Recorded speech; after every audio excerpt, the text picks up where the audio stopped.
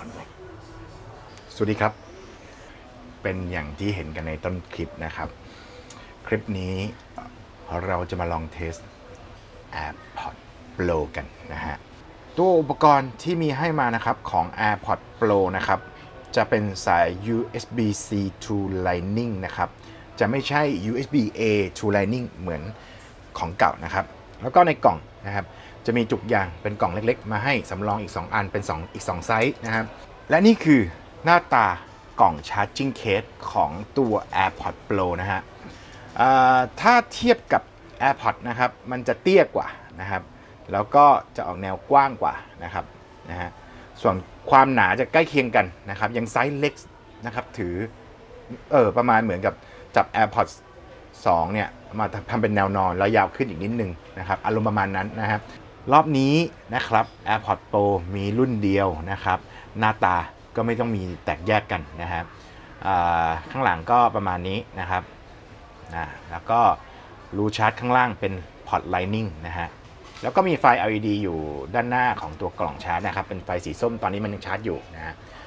เมื่อเปิดกล่องมานะครับ หน้าตาจะประมาณนี้นะครับ เดี๋ยวขอลองก่อนนะฮะ ยังไม่มั่นใจเลยอะไม่รู้ว่าใส่แล้วจะเจ็บหูหรือเปล่าอ่าข้างนี้ข้างขวานะครับโอ้โหเออเออเออเออ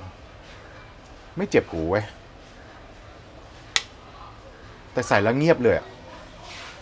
คือรู้สึกว่าเสียงถูกตัดเลย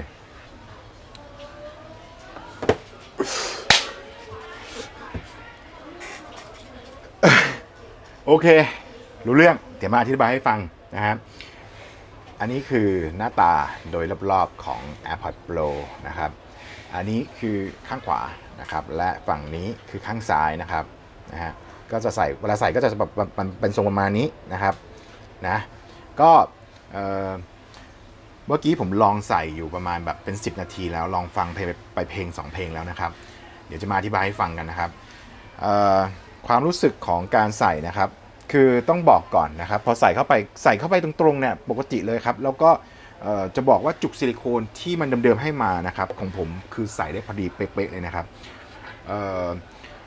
ความรู้รู้สึกในในในในตอนนี้นะครับ คือเวลาใส่เข้าไปนะครับ ผมต้องบอกว่า เออ รุ่นนี้ใส่แล้วสบายกว่า Power Beat Pro นะครับเอ่อ Power Beat Pro เนี่ยมันไม่ใช่อินเอียร์ที่ยัดเข้าไปในรูหูนะครับ มันจะอยู่อุดอุดหูประมาณอยู่ปลายๆนะครับ ซึ่งเวลาใส่เนี่ย มันจะรู้สึกอึดอัดเล็กน้อยนะครับ แล้วก็ของผมมีปัญหาเรื่องของใส่แล้วตอนนั้นมันกดคับกระดูกหูชิ้นนี้ด้วย มันกดแล้วเจ็บนะครับอะตัวนี้ไม่เป็นนะครับ พอใส่เข้าไปแล้วนะครับ หูเราไม่รู้สึกเจ็บนะครับนะครับอ่าอันนี้ลองใส่ดูก็ไม่มีอาการที่จะแบบขยับหรือล่วงนะครับก้มอะเฮ้ยล่วงใช่อะ อะไม่หลุดนะครับ อันนี้คือผมก้มจนหัวจะหักอยู่แล้วนะฮะก็ไม่หลุดนะครับ แล้วก็ใส่แล้วข้างในจะรู้สึกโปร่งๆนะครับ จะฟีลลิ่งคล้ายๆ ตัวหูฟังของ Sony ตัว WF 1000 XM3 ตัวนั้นเลย คล้ายๆกันคล้ายๆกันเลยนะประมาณอารมณ์ประมาณนั้นเลยนะฮะจากที่ผมได้ลองเทสตัว AirPods Pro นะครับต้องบอกว่า Apple ทำมาค่อนข้างโอเคเลยนะครับ คือตัวข้างๆนะครับของตัว AirPods นะครับมันจะมีช่องหนึ่งที่เป็นบุ๋มเข้าไปอย่างที่เห็นในการในคลิปตอนนี้นะครับ ก็ตัวนี้นะครับมันจะเป็นตัว Control นะครับตัว AirPods นะครับก็คือเวลาเราใส่เข้าไปใช่ไหมครับ พอเรากดบีบทีนึงนะครับมันก็จะหยุดเพลงนะครับกดหยุดกดเล่นเพลงนะครับคือการบีบนะครับแล้วก็ปล่อยนะครับ กดรับสายกดตัดสายนะครับ ก็กดบีบแล้วปล่อยนะครับ แต่ถ้าเราต้องการที่จะเปิด noise cancelling นะครับ ให้กกดบีบค้างไว้แป๊บหนึ่งแล้วปล่อยนะครับ มันจะเป็นการเปิดปิด noise cancelling นะครับ แต่การเปิดปิด noise cancelling บนโทรศัพท์นะครับ จะเปิดได้ 3 รูปแบบนะครับ คือตัดเสียงรบกวนเลยนะครับ แล้วก็ปิดเฉยๆนะครับ แล้วก็อีกแบบหนึ่งก็คือ เปิดให้สามารถรับเสียงข้างนอกเข้ามาได้ด้วยนะครับ อันนี้คือ 3 รูปแบบนะครับ ส่วนการคุยโทรศัพท์นะครับ อันนี้ผมผมให้ความสำคัญมากเลยนะครับ เพราะว่าผมรู้สึกว่าหูฟังที่ดีเราควรซื้อมาแล้วใช้ได้ครบนะครับการคุยโทรศัพท์เนี่ยนะครับผ่าน AirPods Pro นะครับ เสียงมันค่อนข้างโอเคเลยนะครับ เสียงชัดเจนนะครับ แม้ว่าตอนนี้ตัวเองตัวผมเองผมอยู่ในห้างนะครับ ก็มีเสียงรบกวนเยอะนะครับ ก็คือรายละเอียดเสียงโอเคนะครับจากที่ผมลองเทสกับน้องแล้วนะครับ เสียงโอเครายละเอียดเสียงฟังรู้เรื่องนะครับ เดี๋ยวผมจะมีอัดเสียงให้ฟังกันด้วยนะครับว่าเสียงที่ได้จากการที่พูดผ่าน AirPods นะครับจะได้ประมาณไหนนะครับคุยในห้างแล้วโอเคนะครับไม่ว่าจะเปิด noise cancelling หรือปิด noise cancelling นะครับความรู้สึกเห็นน้องผมบอกว่ามันจะมีความรู้สึกต่างกัน คือถ้าเราเปิด noise cancelling เนี่ย เเหมือนกับว่าจะเงียบกว่านะครับ ส่วนถ้าเราปิด noise cancelling นะครับ เสียงเขาจะรู้สึกว่ามันจะมีเสียงลมหรือเสียงอะไรนิดหน่อยเข้าไปบ้างนะครับ มีความรู้สึกอย่างนั้นนะครับ ซึ่งส่วนตัวผมเองผมลองตอนที่อัดเสียงเมื่อกี้แล้วนะครับ คือ ผมมีความรู้สึกว่ามันไม่ต่างว่ะ อันนี้อันนี้คือความรู้สึกส่วนตัวนะ แต่ก็คือรายละเอียเสียงโอเค เสียงเงียบ เสียงใช้ได้นะครับ ก็ประมาณนี้นะครับ ส่วนเรื่องของการฟังเพลงนะครับ ต้องบอกว่ารายละเอียดเสียงนะครับ ดีดีเลยนะครับ ชัดเจนนะครับ เสียงร้องชัดเจนเสียงเบสเสียงทุ้มเสียงต่างๆ มาครบหมดเลยนะครับ มิติเสียงดีเยี่ยมนะครับ อันนี้ผมขอพูดตามตรงจากความรู้สึกแล้วกันนะครับไม่ได้ลำเอียงนะครับ ถ้าเทียบกับ iPod 2 คือมันดีกว่าเยอะดีกว่าเยอะจริงๆนะครับเวลาฟังเพลงนะมันดีมันดีกว่าเยอะยิ่งยิ่งเปิด noise cancelling เนี่ยคือแบบ มันดีว่ะ มันดีจริง ๆ นะครับ ส่วนถ้าเทียบกับ Sony เหรอ ผมจำไม่ได้แล้วว่าว่าโซนี่เสียงประมาณไหนนะแต่ว่าผมว่ามันฟังสบายเหมือนกันคล้ายๆกันทั้งคู่นะครับ แต่ว่า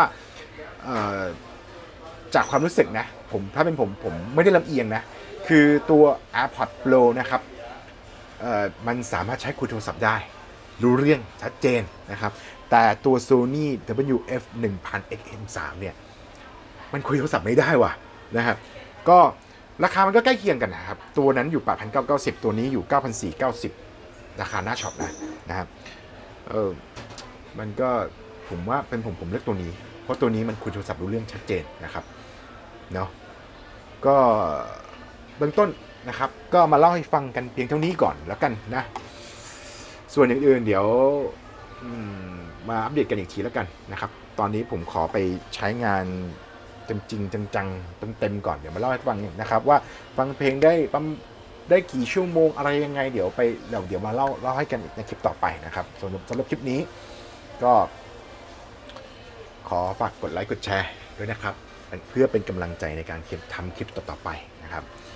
แล้วเดี๋ยวเรามีอะไรอัปเดตเดี๋ยวเราติดตามกันคลิปต่อไปนะครับ เดี๋ยวท้ายคลิปจะมีเสียงที่อัดจาก AirPod ให้ฟังกันนะครับสำหรับคลิปนี้ ลาก่อนครับ บ๊ายบาย สวัสดีครับ สวัสดีครับ เสียงที่ท่านได้ยินอยู่ณต่อไปนี้นะครับ มันคือเสียงที่ผมใช้อัดผ่านโปรแกรม Voice Memo นะครับใน iPhone นะครับ โดยที่ตัวโปรแกรมนี้นะครับ สามารถใช้ตัวไมโครโฟนของ iPod Pro นะครับ ในการที่จะอัดเสียงได้นะครับ ก็ ลองฟังกันดูนะครับว่าอันนี้คือเสียงที่ใช้อัดนะครับโดยใช้ไมโครโฟนของตัว AirPods Pro นะครับ เสียงจะเป็นยังไงนะครับ เมื่อมันจะคล้ายๆกันนะครับ เมื่อเวลาเราโทรไปแล้วคุยไปทางคุยไปทางก็จะได้ยินเสียงประมาณนี้เหมือนกันนะครับ อันนี้คือผมเอามาให้ฟังเป็นตัวอย่างนะครับ